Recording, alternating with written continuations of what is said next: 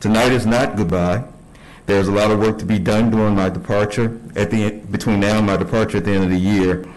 I plan to face the next few months with the same passion and energy that I have when I accepted the position in January of 2018. This community has accomplished great things during my tenure as city manager. There's a Greek proverb which states, "A society grows great when old men plant trees in whose shade, shade they shall never sit."